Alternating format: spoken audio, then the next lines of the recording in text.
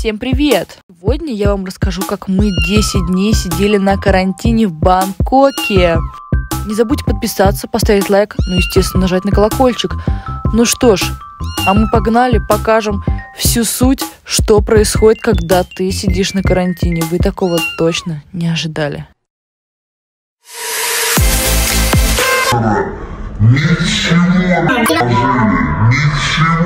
ничего. Сука, заплатили, блядь.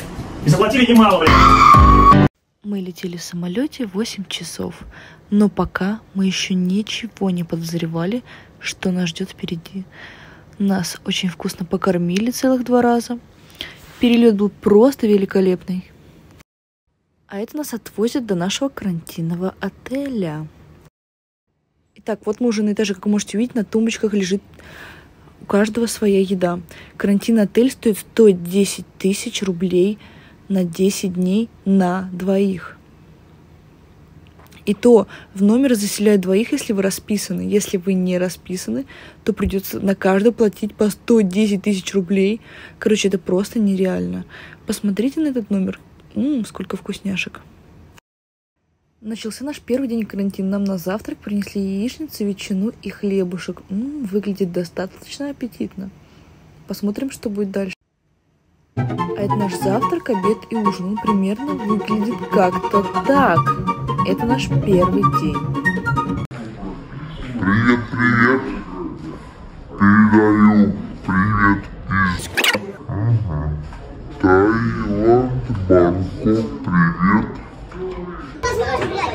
четвертый день. Вот смотрите. Вот, да, вроде нормальная еда, блядь, посмотри нахуй, что это хуета вообще? Что это, блядь, за старая трава, нахуй, вот просто посмотрите. Качество вот этой травы. И, типа, я съела одну креветку, мне кажется, сейчас пойду, блядь, и блевану нахуй в коридор. Просто это вообще- Да вообще невозможно жрать. Мы хотим жрать. Вон она вся эта еда их ними. Дальше говно, блядь. Рис, блядь, ебли, смотри, что они кормят, блядь, блядь, не знаю, что, блядь. Фу, блядь. Мерзко, блядь. Ну вонять, блядь, убери нахуй. Не буду, блядь. Все. У нас набирались в номере там 5 суток. И знаете, нам дали атрибуты для уборки. И это все за 110 тысяч рублей. Честно, мне даже дома больше нравится убираться. Это полный трэш, представляете? Мы нам сказали, что никто не, не- не будет здесь ничего убирать, потому что здесь типа ковидная зона. Ковидная зона, блядь. С отрицательными результатами на тест.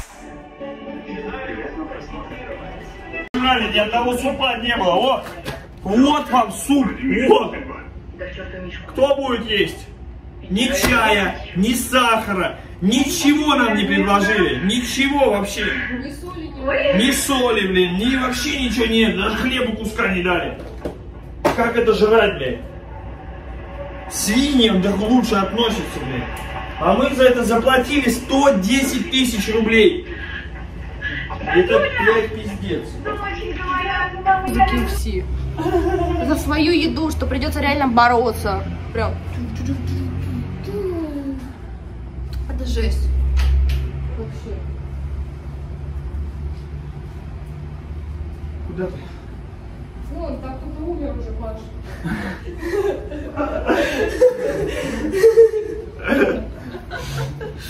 Не ест? Да, все. А почему алкоголь-то нельзя, блядь? И да, алкоголь вообще нельзя. И нам вообще нельзя было выходить никуда 10 дней. Так вот, если вам приносят еду, и она не очень, или вы такую не едите, вы можете позвонить на ресепшн, и вам ее поменяют. Либо там писать гиду или не гиду, кто у вас там будет.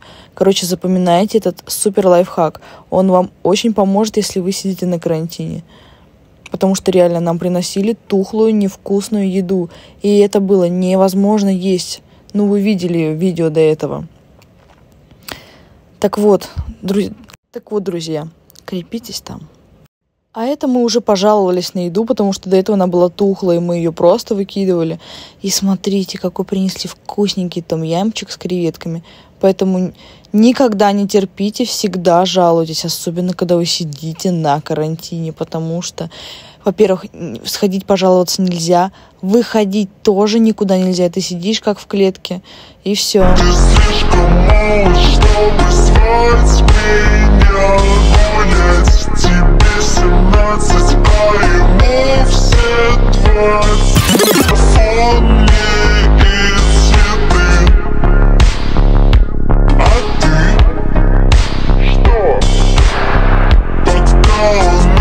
И да, если вы захотите что-то приобрести или купить, э, то персонал может загнуть тройную цену, либо вообще не приносить три дня то, что вам надо, и вы будете сидеть. Да, ребят, кто не был в Таиланде, сейчас и идет карантин отель, не приезжайте в Таиланд, потому что сейчас вы здесь ничего не увидите. Вообще экскурсии закрыты, все закрыто, полный локдаун. Даже алкоголь не продают, и магазины закрыты после девяти. Поэтому, если вы сидите карантин здесь, то либо вы здесь живете, у вас здесь дом, либо еще что-то. Но если вы здесь ни разу не были, то не стоит сейчас ни в коем случае приезжать. Так, дамы и господа, продолжение следует. Увидите скоро вторую часть. Подписывайтесь, ставьте лайки, люблю.